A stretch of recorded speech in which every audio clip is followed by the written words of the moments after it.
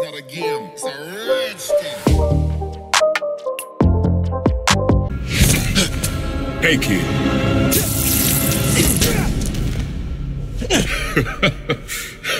What's so funny? Damn, Miles. We're a skinny ass kid. You hit hard. Uncle Aaron? You're the Prowler?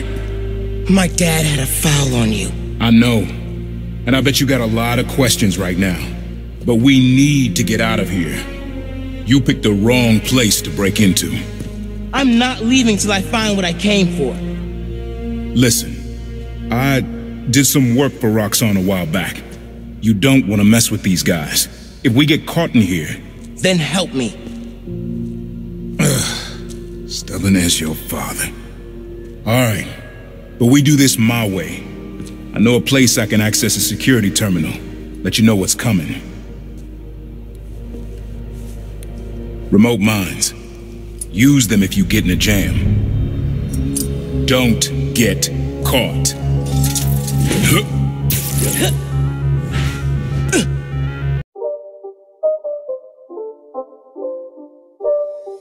It's not a game, it's a thing.